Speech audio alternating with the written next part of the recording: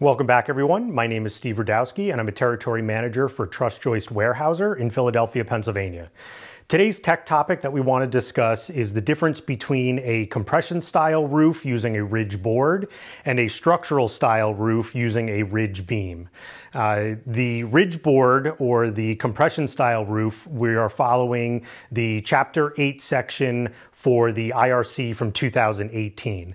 Uh, typically in a compression style roof, which is what many of the houses have been built with over the years, uh, you'll see a single member, usually a 2 by 10 2 by 12 with rafters going into it and then attaching down to your walls.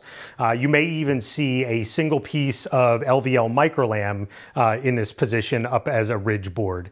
The difference is, is how the structure is being held together we need to have two different types of applications so that the walls don't push out and that the roof starts to collapse. Down here at the bottom, sitting on the walls and up to one third of the bottom height of the roof system, we have what we call our rafter tie. And this keeps our walls in place as the weight from the roof pushes down and out on them.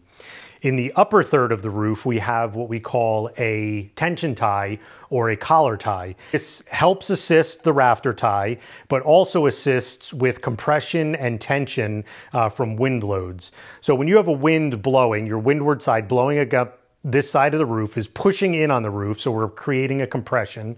And as it comes over the top on the leeward side, we're actually creating a suction type scenario. So it wants to lift or pull this roof off in severe storms.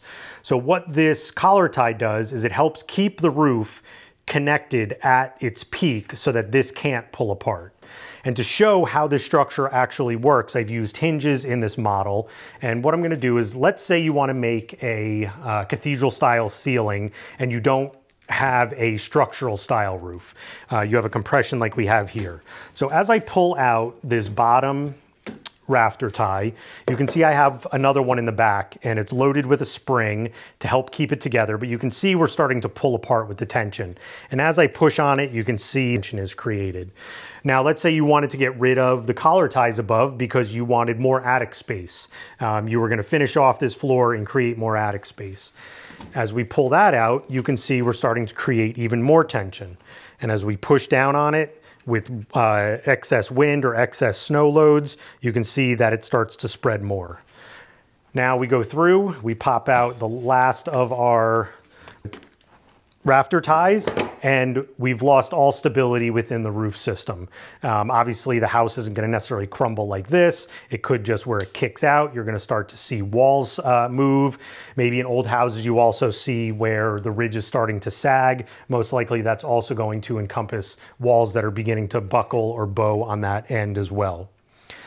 So now let's take a look at uh, a structural style roof where we're using engineered lumbered beams and supportive columns that have been designed either by your uh, engineer or through Weyerhaeuser software such as Forte Web or our Javelin uh, software. Um, what we're going to be doing is we're actually converting from the idea of taking uh, all of that weight in the roof and putting it into the walls completely. We're now building a ridge that could either be uh, single ply LVL uh, or multiply LVL, depending on the size that you need. Remember that our multiply Microllam, where you can get up to 24 inches in depth. And if you were gonna go with a single ply, let's say a five and a quarter, uh, we could go up to 18 inches in a Parallam. But what we're looking at here is now the, the roof ridge as a beam is able to carry 50% of the load that's sitting on this roof. So any snow, your dead load, your live load, 50% is sitting up here at the ridge, the other 50% down here at the walls. And where that is being transferred from the ridge is down through a column, and as you can see through these lines, into the upper plate of this wall, into another column, into a supportive header, down through the liner studs or the jack studs that are holding the header and into our foundation or supporting beam below. And this would be on either end of a roof system.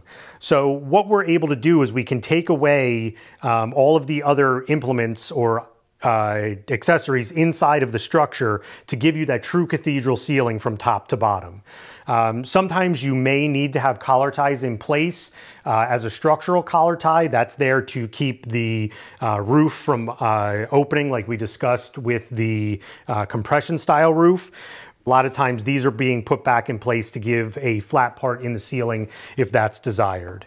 Uh, if that's not, and you wanna bring this right back up to a knife edge, what's going to be required are structural hangers that are going to secure the tops of your rafters into the beam uh, or some type of structural strap that goes up and over the roof to attach it in place.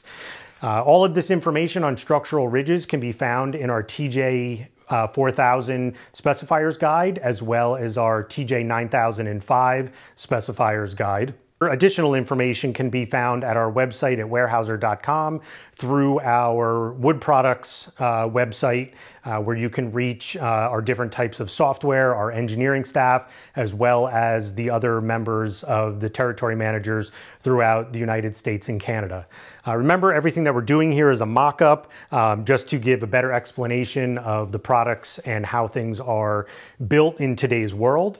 Uh, if you have any further questions, please don't hesitate to reach out. And remember, safety, we're gonna practice it, preach it, and then we're gonna go do our job.